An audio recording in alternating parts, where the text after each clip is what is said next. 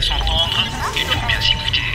Rendez-vous sur M, la petite radio du Grand Maghreb. Bonjour à tous, bienvenue au Café Presse Politique, euh, le CPP sur Radio M. Nous sommes euh, en direct comme chaque mercredi. On souhaite la bienvenue à nos invités. Akram Khalif, merci d'être venu. Yasmine Maskari, euh, bonjour. Maïda Hak, bonjour. C'est votre premier CPP à tous les deux. J'espère que ce ne sera pas le dernier et c'est pour la bonne cause puisque nous parlerons de, de santé et de la pandémie du Covid-19 euh, qui, qu'il faut le dire, s'aggrave en Algérie. Première question, qui s'est fait vacciner parmi, parmi vous trois? Moi, les deux doses. Ah oui. aussi, prochainement. Alors, euh, Yassine Maskari, vous, vous travaillez à l'association euh, euh, Basmet El Rofran. Euh, Est-ce que c'est facile aujourd'hui de demander aux gens de se faire vacciner? Est-ce que vous ressentez qu'il y a une réticence? Euh, sincèrement, ce n'est pas facile pour nous de, de demander ça aux gens parce qu'il y a beaucoup qui sont contre et limite ils nous attaquent quand on leur demande de, de se faire vacciner en mode euh, vous n'êtes pas des médecins, Euh, même les médecins sont pas, sont, certains médecins sont pas pour. Du coup, c'est un peu difficile pour nous de, leur demander de se faire vacciner, mais on le fait quand même. Akram Khalif, euh, il y a beaucoup de gens. euh, bon, sur Radio M, on a fait vraiment la promotion du vaccin. Il faut aller se faire vacciner, mais euh, que, qu'est-ce que vous répondez aux voix discordantes qui, on a l'impression, sont très minoritaires parce que dans tous les centres de vaccination, il y a un monde fou. Euh, oui, effectivement, il y a un monde fou et justement, c'est un peu antinomique par rapport à, l'idée d'appeler euh, à la vaccination massive. Il faut aussi appeler à ce que ça se fasse euh, dans les règles, donc à ce qu'il y ait de la distanciation, à ce que ce soit bien organisé, etc. Moi, je ne vous cache pas qu'aujourd'hui, je rentre dans un centre de vaccination. Nous étions, nous étions dans, un, dans une salle d'attente comme une autre, hein, parquée avec des gens qui avaient des masques, d'autres qui n'en portaient pas. Donc, euh, j'appelle euh, au vaccin personnellement. Enfin, je, je pense que la vaccination est une bonne chose, mais je dis aussi qu'il ne faut pas, faut pas créer de nouvelles, euh, de, de- nouvelles zones de propagation pour, euh, pour le virus, hein, parce que comme c'est fait aujourd'hui, euh, ça fait un petit peu peur aussi. le vaccin. Moi, je suis vacciné, deux doses. Euh, mais je, pense qu'il ne faut pas brusquer les gens qui sont contre le vaccin. Il faut faire de la pédagogie, c'est très important, sans les brusquer, sans, leur, sans aller non plus vers l'obligation euh, vaccinale. Euh, mais on, remarque malgré tout que les gens y viennent parce qu'ils sentent le danger. C'est ça en fait, c'est le danger qui fait que les gens se, se poussent maintenant, se pressent pour, pour faire le vaccin. Euh, certes, il y aura toujours des gens qui seront contre et, ils ont des arguments qui peuvent être euh, entendus. Le fait que c'est un vaccin qui a été fabriqué très vite, qu'ils ne savent pas quelles sont les conséquences, ça peut s'entendre. Il faut écouter les gens qui sont contre, mais il y a des arguments qui permettent de raisonner les gens, euh, de se rendre compte qu'ils doivent protéger leur, leur famille, leurs proches. Et euh, il faudrait donc non seulement faire de la prévention, inciter les gens, et autre chose, c'est aussi de la priorité. Il faut quand même faire une priorité pour les personnes les plus euh, vulnérables, les personnes âgées. Euh, là, actuellement, je, n'ai pas l'impression que ça soit vraiment très organisé dans ce sens-là en ce moment, la vaccination, mais il faut, il faut faire ça dans, les règles, dans les règles, et doucement, doucement, les gens vont, arriver à se vacciner. Certes, on a beaucoup de retard, mais je, pense que on, on est enfin, actuellement dans une bonne dynamique pour la- concernant la vaccination. il faut, il faut d'ailleurs saluer le fait euh, que le vaccin soit disponible. Ouais. Il faut dire ça. Euh, il y a trois mois, il n'était pas disponible, c'était très difficile. Il faut reconnaître qu'aujourd'hui, euh, y compris dans les petites euh, communes, on arrive à avoir, euh, à se faire vacciner. C'est une très très bonne chose. Même si les spécialistes disent que ce n'est pas très euh, judicieux de se faire vacciner pendant le pic de la pandémie. C'est ce que je disais. euh, Ouais. Ce qui, ce qui n'est pas judicieux, c'est de faire sortir les gens. Ouais. C'est de faire, c'est de faire se regrouper euh, les gens pour X activité que ce soit. Bon, maintenant, ça se trouve que c'est le, le vaccin. Peut-être qu'il faudrait intervenir sur, sur le process de vaccination, faire en sorte que les gens ne se regroupent pas. Mais oui, effectivement, euh, le meilleur moyen d'éviter euh, le virus actuellement, c'est le port du masque et c'est euh, de se confiner au maximum. Bien sûr, Yasmine Makalbi, euh, l'appel à la vaccination n'est pas la seule action à laquelle appelle votre association. Quelles sont aussi les autres actions de sensibilisation que vous avez fait par le passé et que vous continuez à faire aujourd'hui? Alors, euh, le début de cette pandémie, on a fait plein d'activités. Par exemple, on a fait des coups fins pour les familles, qui, surtout pour les papas qui ont été licenciés à cause du Covid. on a fait comme je vous ai dit, on a fait des, campagnes de sensibilisation avec des flyers, etc. Euh, on faisait, euh, comment on l'appelle, euh, des infections, des stations de métro, etc.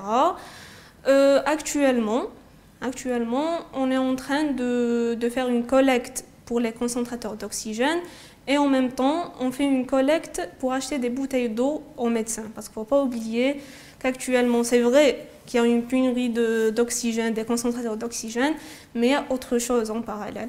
Euh, il y a les médecins qui sont en manque de nourriture, d'eau, de, même les cancéreux, ils ont besoin de leurs médicaments, etc. Donc il ne faut pas négliger les, et les concentrateurs d'oxygène, c'est vraiment le, grand problème aujourd'hui. Vous avez du mal à vous en procurer ou est-ce que vous faites juste la quête pour pouvoir les acheter?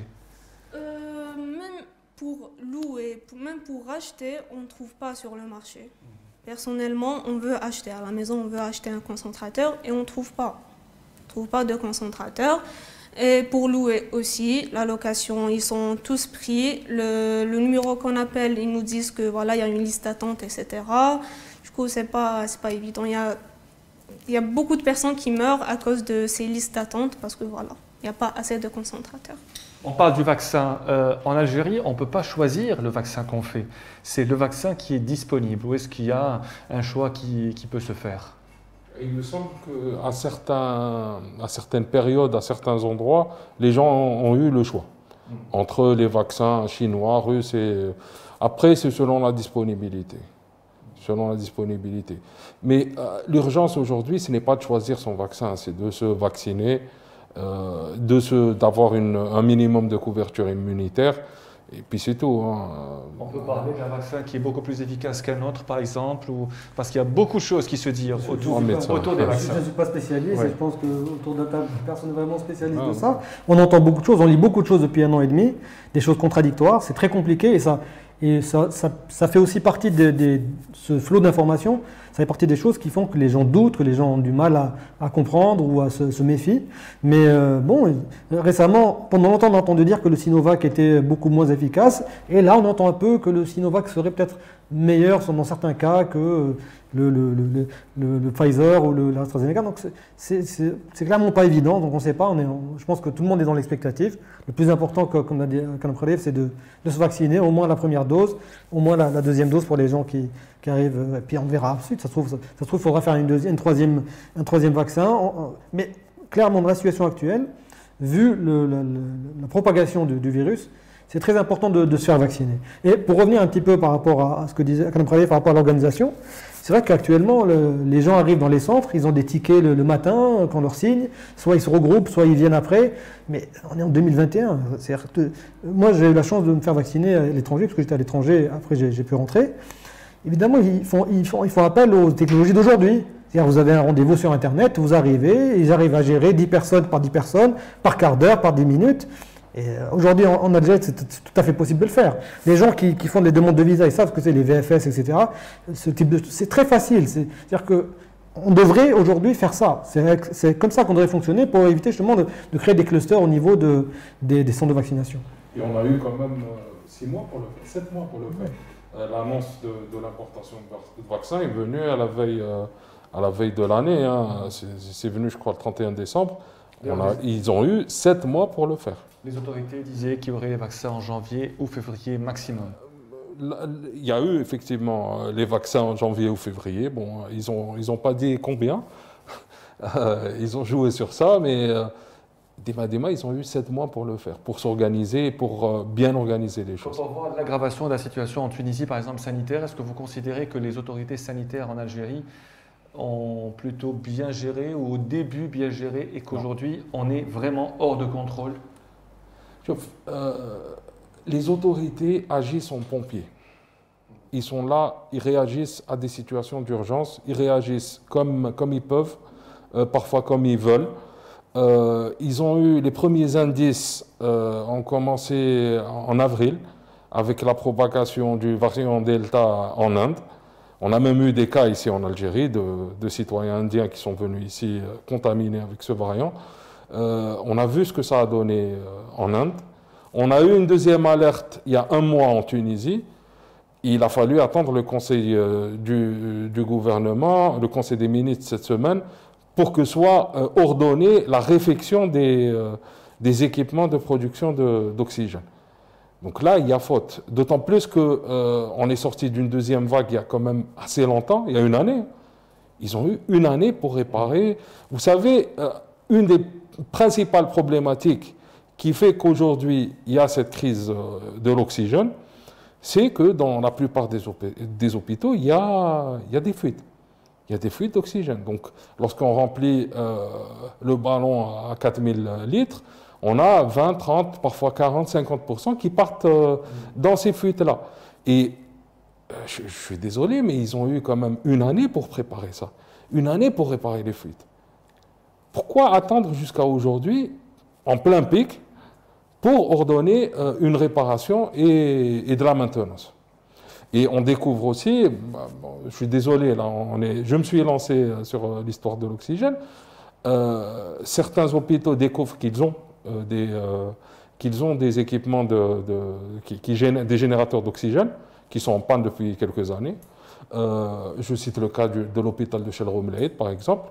On, a, on a aussi des, hôpitaux qui n'ont pas de réseau euh, pour, euh, pour euh, transporter l'oxygène. On a des. on découvre aujourd'hui que. comment dire Qu'on a un problème de distribution, alors que la production est largement suffisante, et on découvre énormément de, de, de, problèmes au moment où on a un pic, un pic d'infection et un pic aussi de, mortalité. Yasmine, en tant qu'association aujourd'hui, quelles sont les pires difficultés qu'on trouve sur le terrain? Ça, c'est la première question.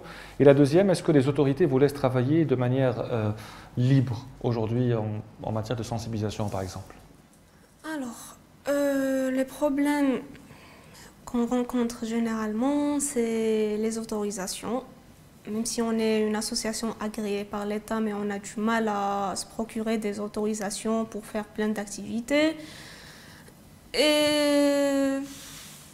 Mais on arrive à gérer ça parce qu'on insiste, on, on essaye de, tout faire pour avoir ces autorisations. Et c'était quoi la deuxième question C'est-à-dire quel est le plus difficile aujourd'hui quand on est une association à sensibiliser sur le Covid? Est-ce que vous tombez sur des gens pour vous dire le Covid ça n'existe pas, sur des gens qui vous disent je ne veux pas me faire vacciner, sur des gens qui refusent encore de mettre le masque? Est-ce que est-ce que c'est ce genre de difficultés auxquelles vous pouvez faire face tous les jours? Euh, Sincèrement, oui, parce que la dernière fois, on a travaillé au centre commercial, centre commercial pour la collecte pour les couffins de Hamdan. Et il y avait des gens qui genre ils trouvaient que porter le masque c'était du n'importe quoi c'est pas ça qui va les protéger du covid ça n'existe pas. Ils disent que ce qu'on fait, c'est du n'importe quoi et que euh, genre c'est du profitage le fait. Les... Non, on avait des, des bavettes, c'était avec des prix symboliques, on ne les vendait pas. Genre pour eux, c'était ça, ça c'était du profitage et tout, alors que c'était c'était pas le cas. Et pour le vaccin, je pense le problème, le plus gros problème, c'est le fait qu'on a beaucoup de choix. Parce hmm. qu'ils ne savent pas, euh, s'ils avaient un seul vaccin, et le vaccin, normal. Mais qui il y a plusieurs choix, ils sont là en mode euh, Hada il est bien, Hada il est pas bien, et chaque médecin a son rôle et tout. Donc il y a eu cette campagne aussi où en Algérie on refusait de se faire vacciner à l'AstraZeneca aussi. Euh, mhm. puisqu'il y a eu une disponibilité de ce vaccin pendant de, longs mois, et les gens ne voulaient pas aller se faire vacciner à ce vaccin. Donc vous faites face euh, à cela. Est-ce que vous appelez aujourd'hui à la vaccination? Est-ce que l'association prend fait et cause pour la vaccination? Euh, Oui. Euh, on incite les gens à se faire vacciner. Euh, personnellement, je vois que c'est le seul moyen pour s'en sortir. On n'a pas mille choix pour, euh, pour vaincre cette pandémie. Doit se faire vacciner et voilà. Alors, il y a beaucoup de décisions que le gouvernement a prises, notamment la celle récente de pouvoir importer euh, de, l'oxygène et des concentrateurs d'oxygène de l'étranger. Il y a aussi cette décision de lever le confinement qui a été prise il y a quelques jours. Euh, elle est remplacée par des mesures un peu, un peu moins sévères. Euh, vous, Maïda Hag, vous avez été confiné pendant, pendant cinq jours, dans, pendant trois jours. Au lieu des cinq réglementaires. Pourquoi? Trois et pas cinq ah ben Justement, c'est ça la question. Il faudrait demander à l'hôtelier, aux personnes qui géraient ce ce, confinement, entre guillemets, parce que ce n'était pas un confinement. il y a des gens qui ne se font même pas confiner, pour être. Oui, euh, non, mais on, a, vous savez, le problème de, cette histoire de confinement, qui heureusement a pris fin, c'est déjà la, gestion sécuritaire de tout ça. C'est que vous arrivez de l'étranger, vous ne savez même pas où est-ce que vous allez être confiné, dans quelles conditions, euh, combien de temps, et parfois, des gens entendaient dire qu'on n'avait pas de confinés. Oui, on avait des gens avec nous dans l'avion qui ne se posaient pas ces questions parce qu'ils savaient très bien quand ils allaient sortir, qu'ils avaient une personne qui les attendait pour les faire sortir par une porte dérobée. Mais les autres personnes, elles étaient dans l'angoisse parce qu'elles ne savaient pas. Il y a des gens qui arrivent en famille, il y a des gens qui arrivent à Alger mais qu'ils doivent aller à Tlemcen, ils doivent aller à Batna, ils doivent aller à, Sogaras. Et donc, du coup, ils arrivent dans l'inconnu. C'est-à-dire que vraiment jusqu'au pied de l'hôtel, vous êtes dans l'inconnu. C'est-à-dire vous arrivez, on vous enlève votre passeport. On vous dit rien de plus. Vous montez dans un bus et euh, dans un bus où rien n'est respecté. Hein. Les bagages sont posés comme ça, le, préposé n'a pas de bavette. Donc on se demande où est la bulle sanitaire, où est le, confinement. Donc vous arrivez dans un hôtel, devant l'hôtel, et là vous découvrez. Bon, moi j'ai eu de la chance, c'était à Babzouar, dans un hôtel, on va dire, de, bonne, facture. Mais le problème, c'était la gestion. C'est qu'il n'y avait, pas, avait pas suffisamment de place apparemment pour tout le monde. Et donc, euh, on a incité certaines personnes à aller euh, partager une chambre alors qu'elles n'avaient rien à voir les unes avec les autres, avec la menace d'aller au Mazafran. On disait aux gens, si, vous ne restez pas là, vous allez au Mazafran, attention, c'est 1200 personnes, on t'assait. Bon. C'est-à-dire que les conditions à demain, ce pas des conditions normales psychologiquement déjà pour les personnes qui viennent. D'autant plus que les personnes payent.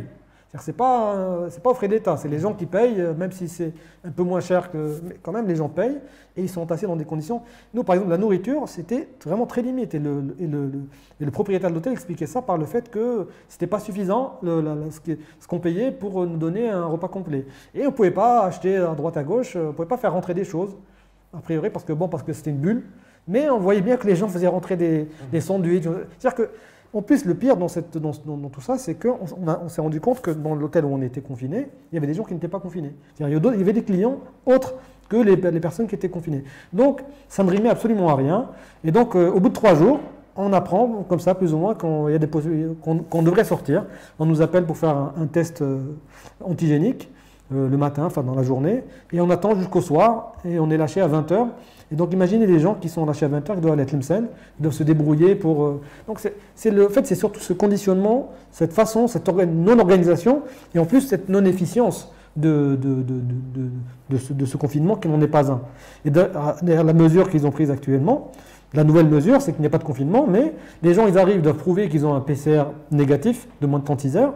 Et en plus, on leur fait passer un test antigénique. Donc là, c'est pas clair comment ça se passe, mais c'est tout à fait faisable à l'aéroport. Un test antigénique, vous avez les résultats au bout de 15 minutes ou 20 minutes. C'est-à-dire que les gens, le temps qu'ils récupèrent leur passeport, euh, leur bagage, ils peuvent savoir s'ils sont, euh, s'ils sont au moment euh, où ils font le test, s'ils sont porteurs ou pas de, virus. Et donc là, on peut trier les 2, 3, 4 personnes qui sont, qui sont positives, les mettre à part.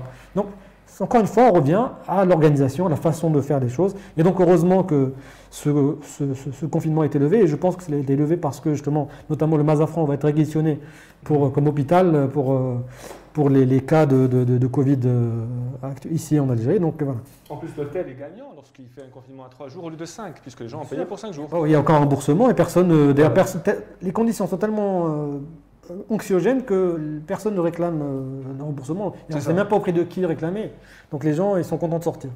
Khadiev, euh, un grand désordre concernant cette, cette question de, de, confinement qui prend enfin fin, alors qu'on savait qu'il y avait des rumeurs qui disaient le confinement va bientôt se terminer, on le savait déjà, et qui est remplacé par des nouvelles mesures. Non, le souci, c'est qu'en parallèle, il y avait aussi des gens, notamment les diplomates, qui étaient exemptés, les journalistes, qui étaient exemptés de euh, de confinement. Moi, ce que j'ai trouvé incroyable, c'est que l'équipe de Sinovac, qui est venue à Constantine pour, euh, pour justement veiller au transfert de technologie, au transfert de production du vaccin, a, eu cinq jours de, confinement. Alors qu'il euh, y a des délégations qui viennent le matin, qui reparlent le soir. C'est pas logique. Bon, euh, pour, rester quand même sur une note positive, euh, il faut dire que la décision de faciliter l'importation de concentrateurs est une excellente décision. Il faut le dire. Il faut dire que c'est une excellente décision. Et on voit qu'en Algérie, lorsque euh, on, essaie de s'organiser et lorsqu'on réfléchit un petit peu, on arrive à faire des choses. On l'a vu en début de pandémie. lorsque le, le ministère de la Santé a planifié le début de pandémie, il l'a bien fait il, il s'est inspiré de ce qui s'est passé en Italie, de ce qui s'est passé en France. Et il y a eu, je pense que l'impact a été bien absorbé grâce à, cette organisation.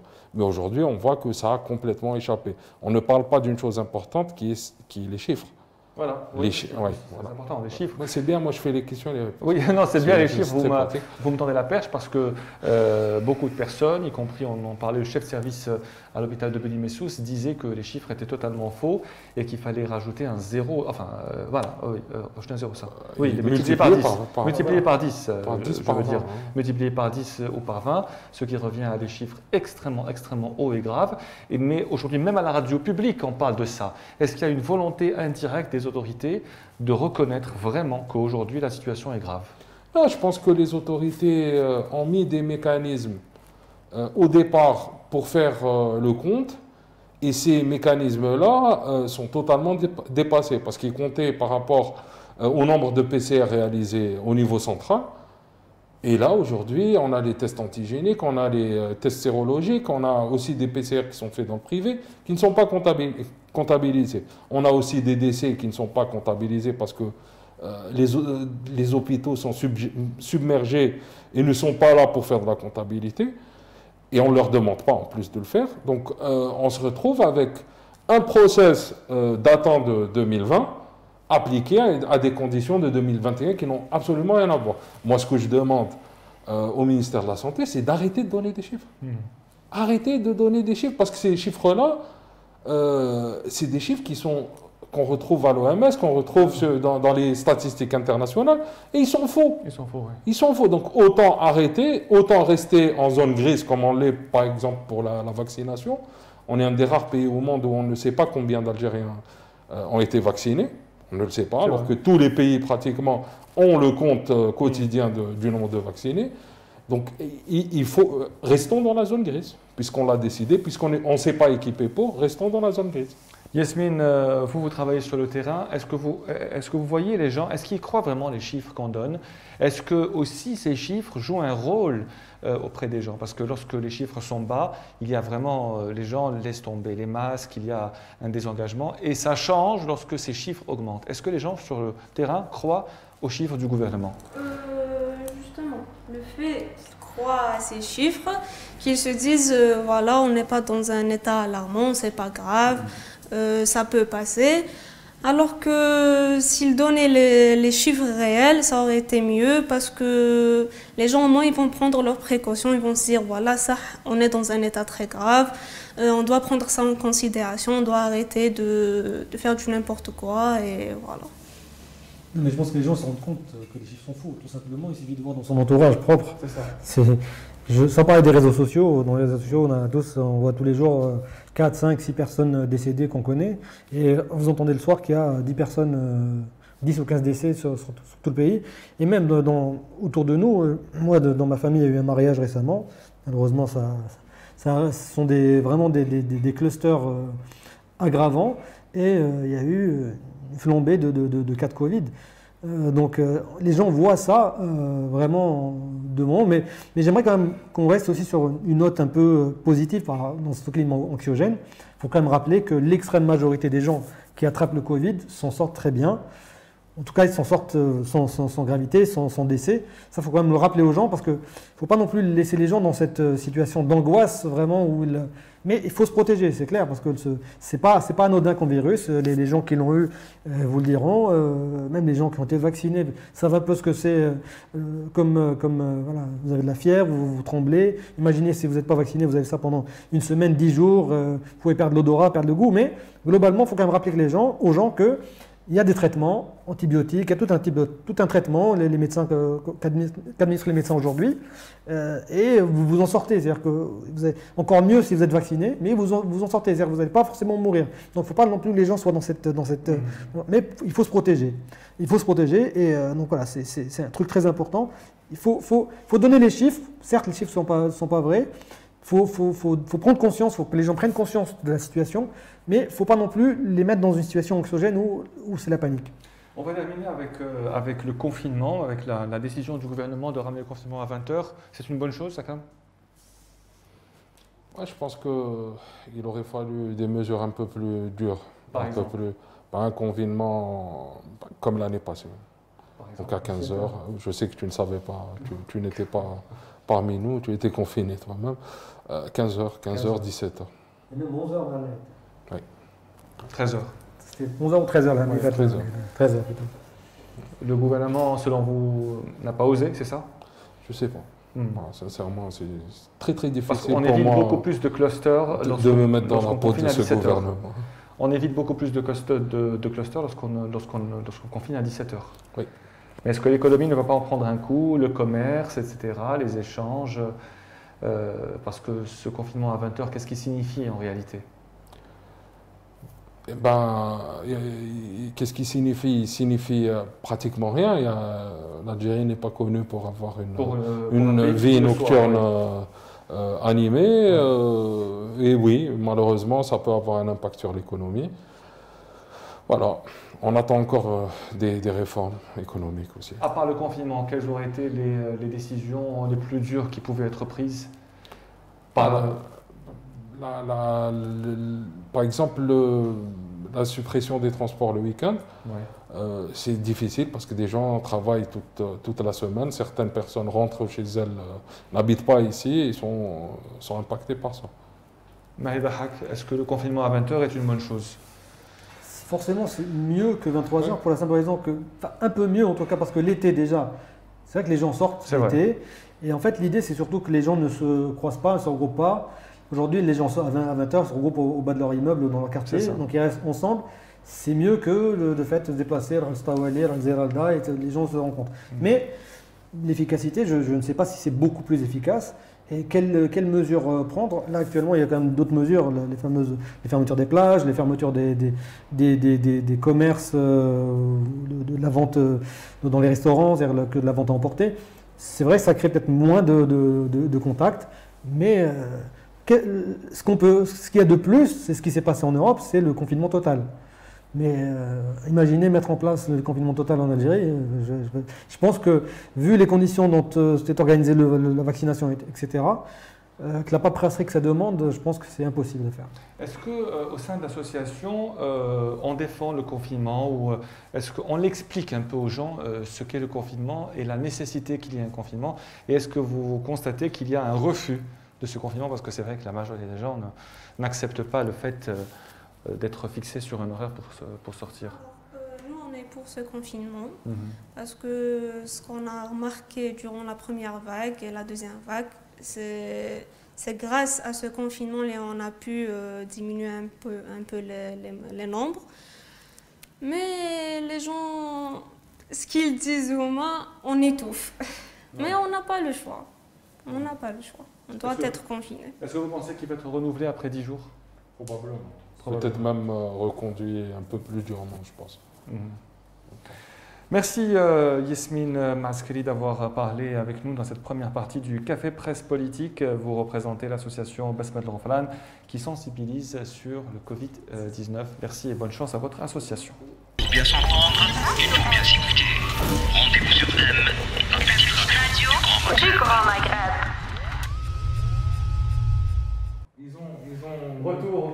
Presse politique, euh, de nouveau en direct sur Radio pour parler d'un sujet euh, qui est toujours d'actualité. En plus, vous n'étiez pas avec nous la semaine dernière. C'est le, euh, le, sujet Pegasus, le scandale Pegasus, donc, qui a enflammé le monde entier, qui concerne une dizaine de pays, notamment quatre pays arabes Maroc, Arabie Saoudite, Émirats et Bahreïn, qui ont acheté ce logiciel Pegasus pour espionner. Et bon, la première question. Euh, que j'ai envie de vous poser. Est-ce que ce scandale est retombé ou est-ce qu'il continue encore de faire parler de lui aujourd'hui? Bon, il continue à faire parler de lui. on a vu une succession d'articles aussi cette semaine. on a vu aussi hier le déplacement du ministre de la Défense israélien à Paris pour un peu désamorcer la situation. Euh, on voit aussi qu'il y a un très très grand malaise en France, hein, parce que euh, ça fait beaucoup trop de tiramis euh, venant du Maroc et d'Israël pour, pour critiquer de manière trop virulente, mais c'était trop grave pour laisser passer les choses. Donc c'est compliqué pour les Français. Euh, on voit aussi que la Grande-Bretagne, euh, on le voit moins parce qu'on est euh, francophone, mais la Grande-Bretagne a exactement le même problème avec les Émirats arabes unis. Donc voilà, le sujet est encore d'actualité. on se tâte, on, essaie de trouver des solutions. Et puis, c'est l'heure aussi pour certains pays de faire l'audit de ce qu'ils ont, de leur parc informatique, de leurs mesures de sécurité. Euh, on a vu qu'en Algérie, on a un dépôt, de plainte qui a été fait. On a des mesures qui, euh, qui devraient aller dans le sens de, justement de l'audit de ce qui s'est passé. Et c'est le cas un petit peu partout. Est-ce que ça va être préjudiciable Une question? Est-ce que ça va être préjudiciable pour le Maroc? Ou est-ce qu'il va retomber euh, sur ses pattes En tout cas, le Maroc est, dans une trajectoire suicidaire sur le, point, sur le plan international qui, qui est folle. Hein. À cause de Pegasus euh, Pas que. Euh, ah. Pegasus, euh, la crise des migrants avec l'Espagne, la crise avec l'Allemagne. Donc on voit tous les jours le Maroc avancer de plus en plus dans, dans sa logique. Je ne sais pas si c'est de l'arrogance vis-à-vis de la décision américaine ou est-ce que c'est autre chose. En tout cas, le, Maroc est dans une trajectoire très très bizarre et ils se font énormément de mal eux-mêmes. Donc vraiment, le Maroc aujourd'hui n'a plus besoin d'ennemis.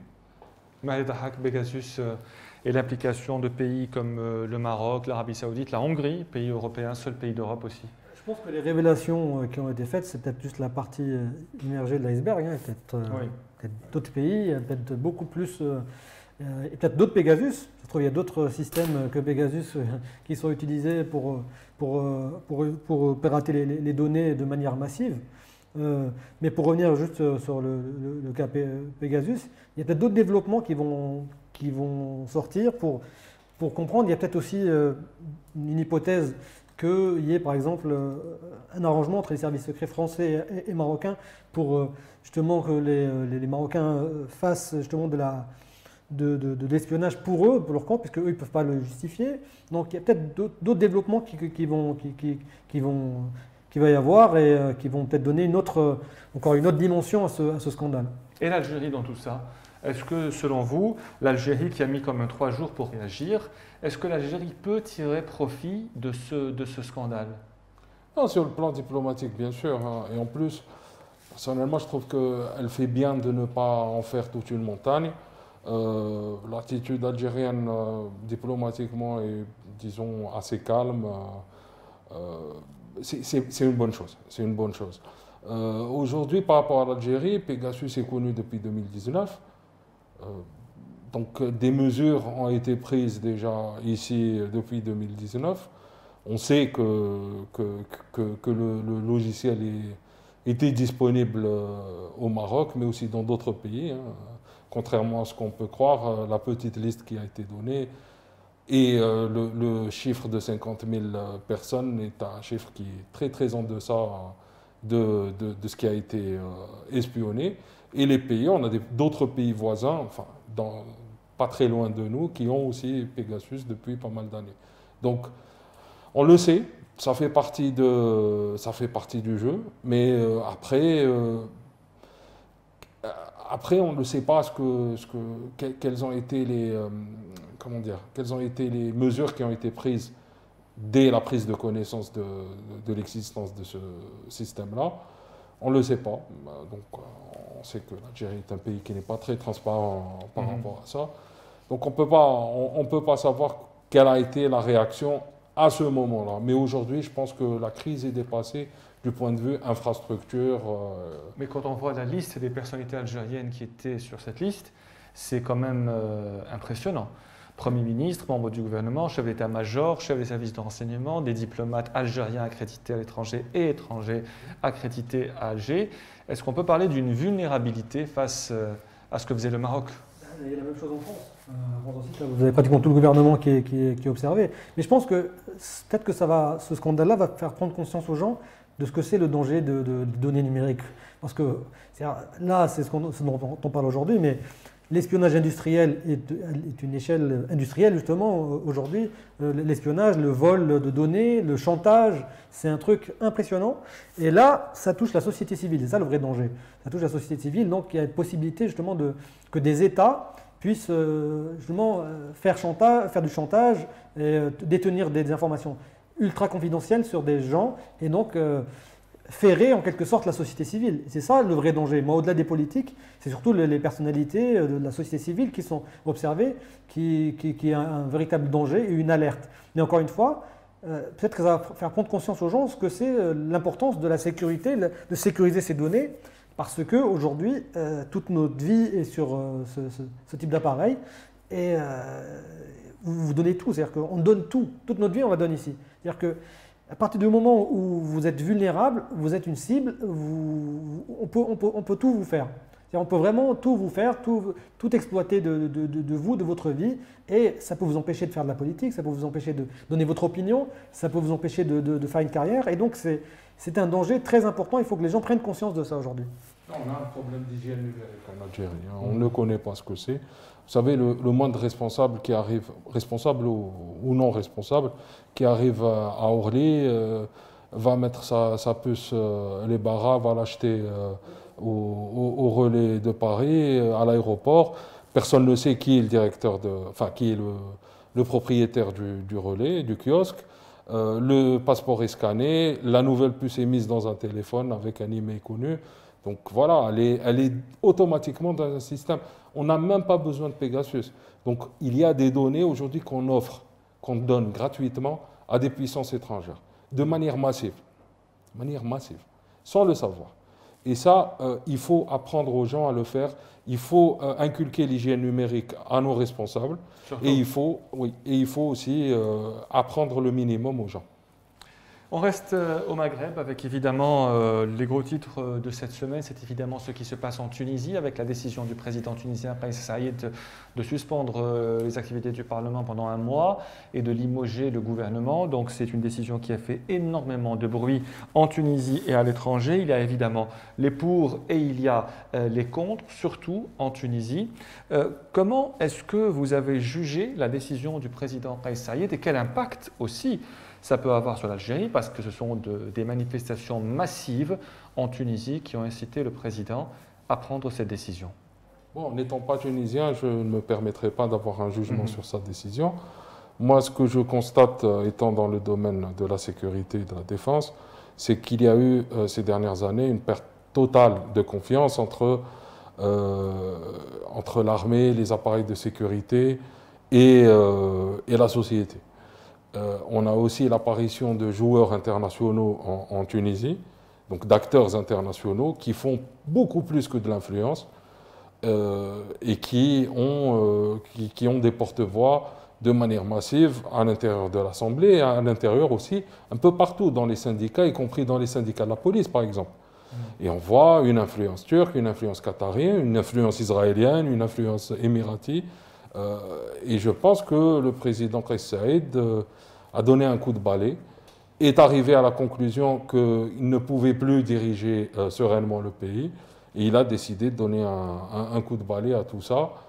Il a aujourd'hui 30 euh, jours euh, pour, pour trouver une solution. Personnellement, je le critiquerai sur le fait qu'il tarde à nommer un chef du gouvernement, qu'il tarde à nommer un gouvernement. Donc, il me semble que ça, donne l'image un petit peu d'improvisation mais, mais on verra.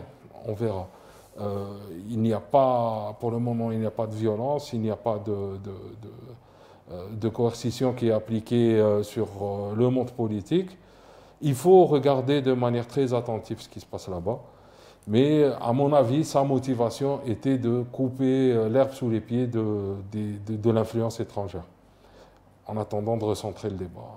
Influence étrangère des pays du Golfe surtout? Ah ben je viens de les citer, euh, Ouais. Qatar, Turquie, Israël, euh, France, euh, Émirats. euh, que- Je ne pense pas que la motivation de Qais Saïd est une mo- motivation antidémocratique ou anti-Nahda ou anti-frères musulmans. Je pense que c'est une euh, motivation anti-étranger en général.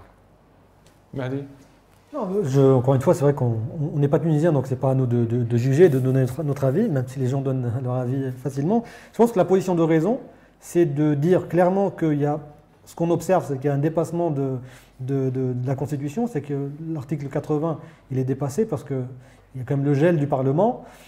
Mais, euh, alors qu'en fait, le Parlement devrait continuer à fonctionner normalement.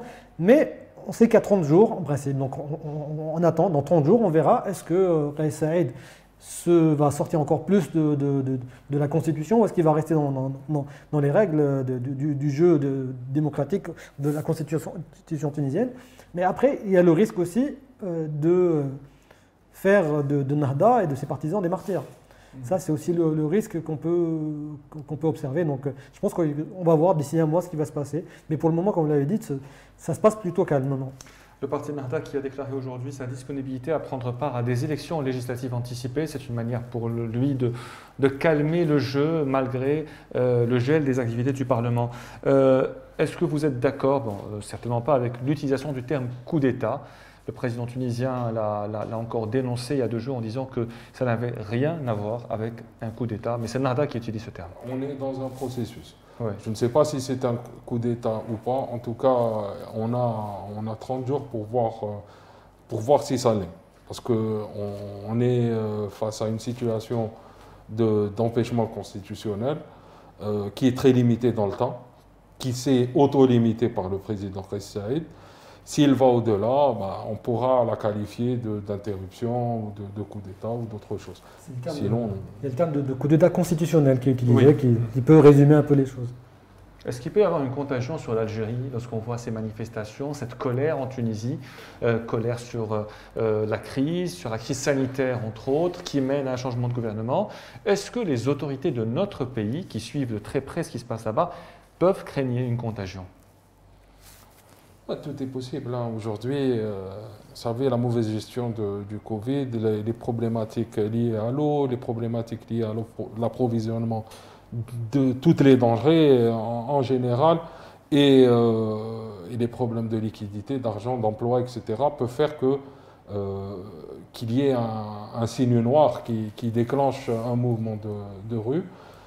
Euh, j'espère qu'il n'y aura rien de violent, j'espère que... Mais tout est possible. Tout est possible. On l'a vu, euh, le Hira qui est venu, euh, est venu répondre à, un besoin du peuple de s'exprimer. On peut se retrouver dans la même situation. L'expérience tunisienne, c'est, euh, c'est, je pense, le, le plus bel exemple pour nous d'o- d'observation, la plus proche.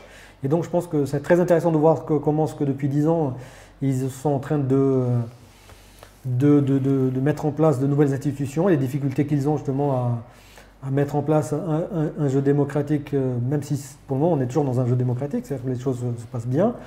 Mais euh, il y a aussi le, le- système euh, qu'ils ont choisi, le système parlementaire un peu hybride avec entre, le, entre le Parlement, les pouvoirs qui sont distribués entre le Parlement et le, le président, qui ne sont pas forcément efficaces. Puis un Parlement qui est morcelé, qui n'a pas vraiment de majorité. Donc bah, je pense que nous, on est, euh, on est observateurs, hein, on regarde comment, comment ça se passe. Et c'est, mais ce qui est intéressant, c'est qu'on reste quand même dans le cadre démocratique globalement en Tunisie.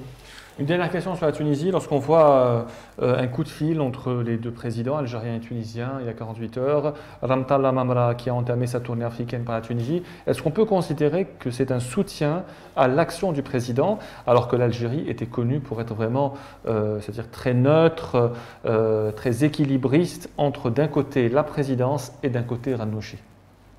Bon, Aujourd'hui, la situation n'est pas la même. Hein. Renouchi, effectivement, a été très proche de l'Algérie. Il a même été euh, euh, pratiquement utilisé euh, par le président Bouteflika comme envoyé spécial en, en Libye. Aujourd'hui, je pense que l'attitude du président Tebboune va dans le sens de l'apaisement, va dans le sens du soutien aussi à la Tunisie, qui passe par des moments très difficiles, parce que il ne faut pas voir euh, cet appel-là euh, comme étant lié uniquement à, ce qui s'est passé. C'est lié aussi à la crise du Covid, c'est lié aussi aux problématiques économiques. Euh, et je pense que c'est un devoir de, l'État algérien de dire que l'Algérie est là, présente avec, avec la Tunisie. D'ailleurs, ça, a été un peu le contenu de la lettre qui a été mm-hmm. envoyée. Merci. Alger soutient qui ou ne soutient personne ah, Je ne saurais pas vous le dire. je ne sais pas qui est le soutien. Non, mais ce qui est intéressant, c'est de voir ce que a fait Reis Saïd, qui n'a pas de base politique, il n'est pas de parti, et qui a le soutien d'une grande partie de la, population, qui a été très bien élu, lui. Euh, pourquoi, vous parlez Qui a été mal je élu sais pas, Voyons. Euh, voilà. Donc, ce qui est intéressant, c'est de voir les déplacements qu'il a fait. Il a été comme en Égypte, euh, voir El-Sisi. Il est en contact avec bon, son plus proche voisin, l'Algérie. Donc, je ne sais pas s'il cherche des soutiens, on peut dire qu'il cherche des soutiens, mais c'est vrai qu'il est dans une démarche qui est, euh, intéressante. il a un projet politique qui semble intéressant. Il, veut, faire des, choses. Au moins, il fait des choses. Que les gens l'attendaient. Il avait promis de, du changement. Il est en train d'agir. On ne sait pas vers quoi ça va aller. On ne sait pas quelles seront les conséquences pour nous. Mais pour, pour moi, c'est vraiment, on est en observateur et c'est très intéressant de voir ce qui se passe. Merci à vous d'être venu à ce Café Presse Politique pour parler de toutes ces questions intéressantes. Euh, évidemment, euh, on termine toujours par euh, notre soutien et notre solidarité à tous les détenus d'opinion qui sont presque 200 aujourd'hui dans les prisons, notamment Fathi Raras, le coordinateur du, mouvement démocratique et social en prison pour avoir dénoncé l'injustice en Algérie. Notre solidarité également avec le journaliste Alabah Karesh, 101e jour en prison. Son procès a été fixé au 5 août prochain à Tamanrasset. Et évidemment, euh, comme chaque semaine, notre solidarité avec les deux journalistes marocains emprisonnés, Slimane Raissouni et Omar Radi, euh, qui, euh, qui ont trop longtemps été emprisonnés pour avoir exercé leur travail de journaliste au Maroc. Merci à vous pour votre fidélité. On se retrouve mercredi prochain sur Radio M.